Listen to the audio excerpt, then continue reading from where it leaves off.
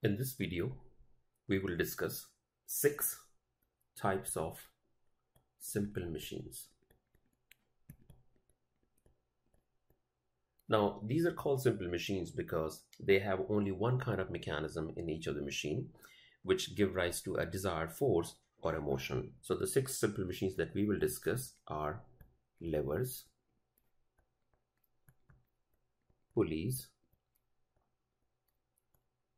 gears, inclined planes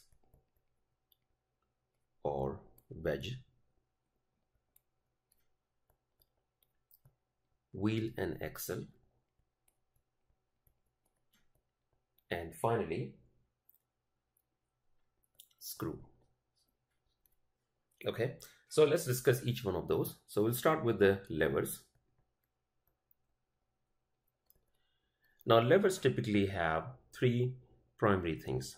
One is a pivot point or also known as fulcrum, an input force or also known as effort and an output which is also called load or resistance. So something like this where you have let's say a platform or a bar and you have a pivot point and you have an input force let's say called Fn and then there is an output force at another end okay? So we have a fulcrum here. This is the fulcrum. We have an input force that's your effort and you have an output force uh, or, or a load or a resistance. So the basic idea with the lever is to either apply a small amount of effort to gain on the output force or the load resistance.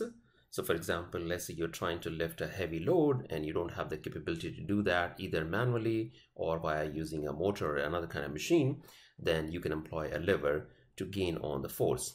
Another use for a lever is to gain on the motion, not necessarily on the force. So remember the work done always has to be same, assuming there is there is 100% efficiency in the system, then you will either gain on the forces or on the motion, but not simultaneously on both of them. Now, levers are typically classified as three kinds of lever, first class lever, second class lever, and third class lever. So let's discuss first class lever first. So first class lever. First class lever are defined by the fact that the, the fulcrum or the pivot is between the input and the output. Okay, so that probably tells you that relative location of the input fulcrum and the output force will decide basically what different classes of the levers are. So in this case, the analysis is fairly simple. Let's say this is the point O. Point O is the point of rotation. And let's say this distance from here to here is D1 and this distance from here to here is D2. Assuming that these forces are acting in a direction perpendicular to the length of this platform, then we can do a simple equilibrium analysis, assuming this is an equilibrium. So we'll take moment about point O equated to zero. So if we take moment of force, input force, so that's F in times D1, that'll be positive because that'll go in the counterclockwise direction. Then the moment of output force will be F out times D2 equal to zero. So we get F output divided by F input equal to D1 over D2. So from this we can see as to how the forces on the output would increase or magnify in relation to the force at the input. So larger the D1 is compared to D2. So if D1 is over D2 is greater than 1, then we will have a magnification of the force on the output. So let's do an example. Let's say the input force is equal to 5 Newton and D1 over D2 is given to you as 2 over 1. You know, we also call it 2 is to 1 ratio. Then the output force would be equal to d1 over d2 times f input from this formula over here and that would be 2 times 5 so that's 10 newton. So because of the magnification factor which is 2 over here you on the output you're getting a force of 10 newtons. In other words if let's say you employ a first class lever with the 2 to 1 uh, distance ratio then you can actually lift load that's twice the input load. Okay?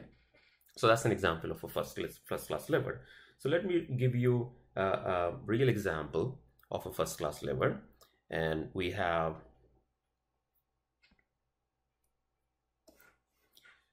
in this case a hammer okay? So what you're doing over here is you're using this hammer to take a nail out right? So here is the, my nail. Use a different color. So I have here is my nail okay? So that's my output because I'm trying to take this out and then I have my fulcrum so I'm going to essentially rest this uh, this hammer against some stationary surface and then I'm applying an input force in this direction to take the nail out okay? So let's see where the fulcrum is located relative to the input and output forces. We can clearly see that the fulcrum is at A uh, which is between input and output okay? Now we can again do the analysis by taking the moment about point A so sigma MA being equal to zero if we do that then the input force let's call it Fn so this is Fn times D1 that's going to be positive minus F out so this is the F output force times D2 equal to 0 and we will get the same relationship that we had before which is this is equal to D1 over D2. So as long as D1 is more than D2, in other words, as long as your input force is being applied at a distance uh, larger compared to the output from the fulcrum, then we will have force magnification. Okay, what about second class lever? Let's discuss second class lever. So second class levers are defined by the fact that the output or the load or the resistance is between the fulcrum and the input. So let's say I have my previous platform, then here is my fulcrum and somewhere here is let's say my output force and here is my input force. Okay. So let's say again the distance from from the fulcrum to the input is d1 and the distance from fulcrum to output force is d2 and let's say this is 0.0 we can again write sigma mo equal to 0 and I will get input force so Fn times d1 now this will be negative in this case plus F out times d2 equal to 0 and I'll get F out over Fn equal to d1 over d2 so relationship remains same. Okay.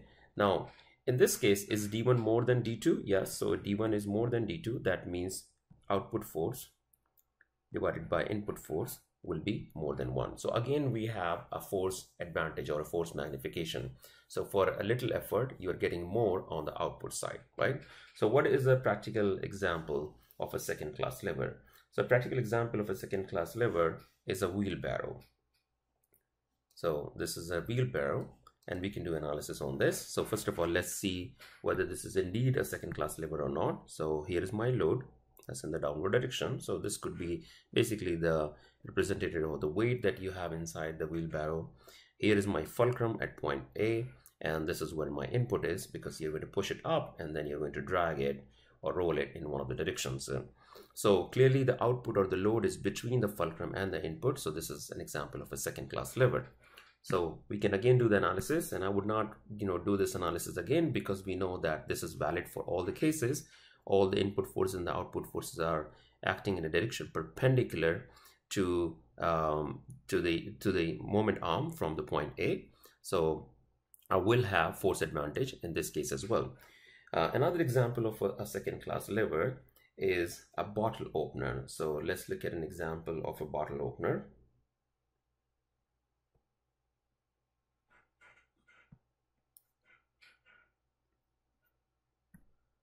So in this case, let's see where our fulcrum is, where our input is, and where our output is. So clearly the input is going to be over here. Okay, so this is where you'll be trying to push it up. So this is my, where my input force is. Okay, and then output force is definitely over here, uh, right where it is in contact, right? So that's where the input force is. So that's the, out, the that's sorry, the output force, not input force. And this is where the fulcrum is right? Because this is where it will be in rest and then you'll be pushing it up and then the output force will be in the downward direction. Okay, so in this case, again, you can see that because the output is between the fulcrum and the input, this is a second class lever. Now, what about the final category of the lever, which is the third class lever? So third class lever. Now, in case of a third class lever, the input is between the fulcrum and the output. So let me draw my platform again. And here is my fulcrum or the pivot. And this is where my, let's say input is. And this is where my output is.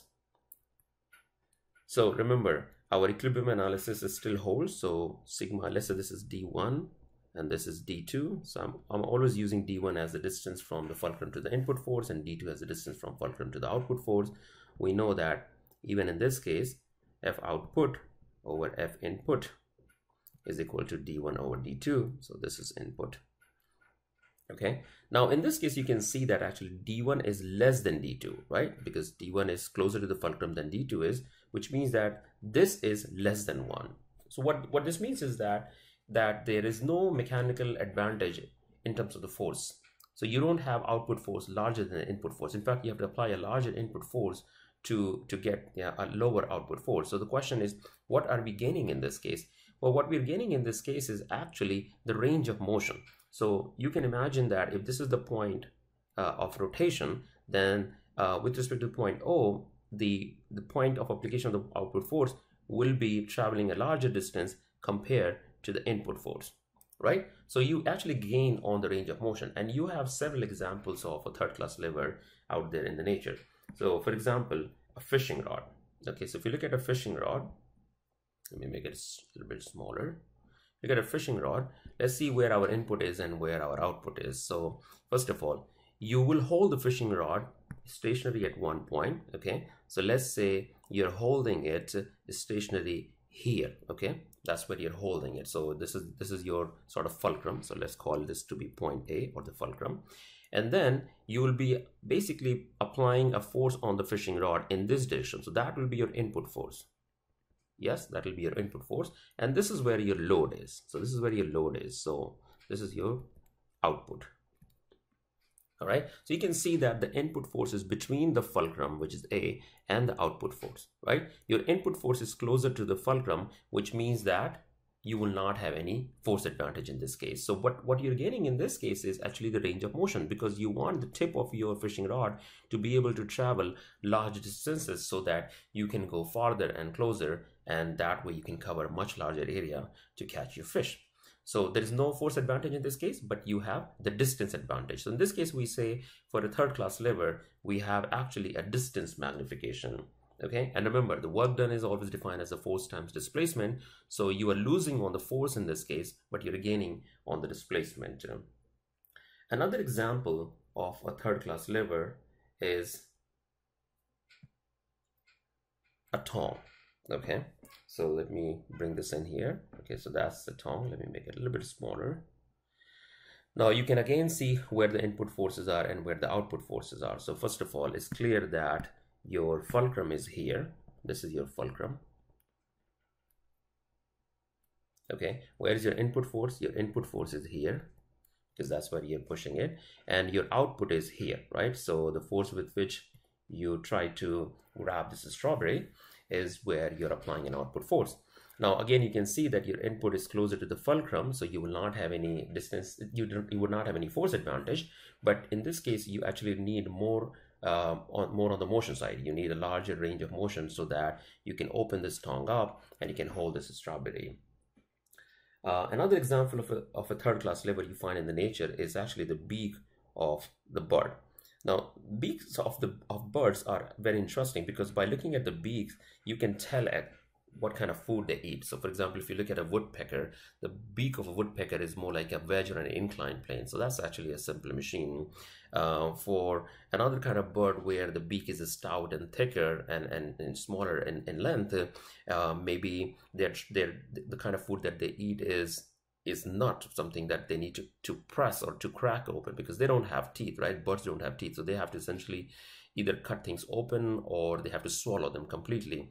So their beak essentially helps them, you know, get their food in the right way. So why is this a third class lever? So let's look at it. So for example, let's say if they're nut or any food that was placed over here, then this would give rise to an output force here. So the, clearly the output would be here or the load okay and then somewhere we can see via some structure this is where the fulcrum would be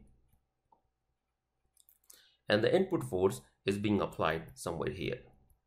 Okay? So input force is clearly closer to the fulcrum than the output force is. So this is an example of a third class lever in fact certain other kinds of birds have much more complicated mechanism to operate their beaks. Uh, one of them is a four bar linkage system that we have seen before.